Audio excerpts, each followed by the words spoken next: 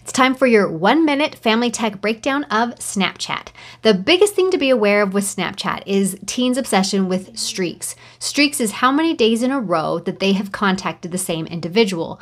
Teens will be so obsessed with keeping these streaks alive that they will give their password to somebody else to keep those streaks alive if they lose access to their phone or they're going on vacation or things like that.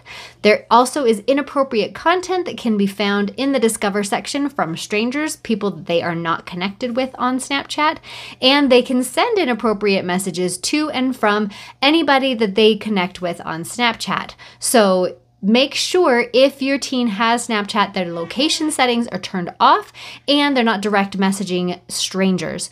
This also is very impossible to monitor appropriately. So be aware of that if you are going to let your teen download Snapchat.